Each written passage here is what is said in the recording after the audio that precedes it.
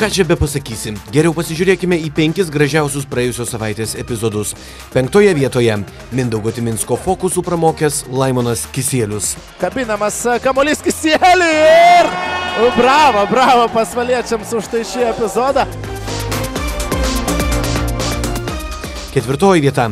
Rytas paskutinę minutę darė viską, kad dar kabintųsi į mačą su Žalgiriu. O, Butkevičius. Butkevičiaus stogas nematė, net jo lydėjus, šalia buvo keli ryto krepšininkai.